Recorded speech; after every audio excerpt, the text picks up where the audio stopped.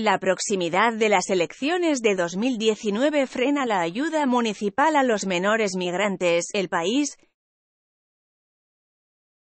la proximidad de las elecciones de mayo de 2019 está dificultando que la comunidad encuentre la complicidad de los ayuntamientos para acoger a los menores migrantes que se hacinan en el centro de Hortaleza.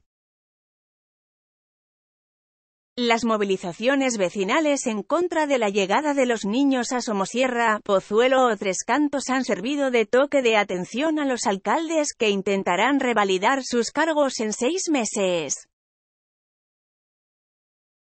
La escena se produce con los trazos negros y rojos de un cuadro de Ramón de Vargas como testigo.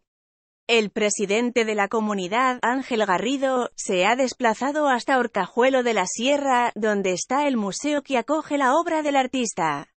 Allí se le acercan un grupo de vecinos de Somosierra, el pueblo al que se trasladará un grupo de migrantes y los técnicos de la comunidad confirman que el proyecto es viable.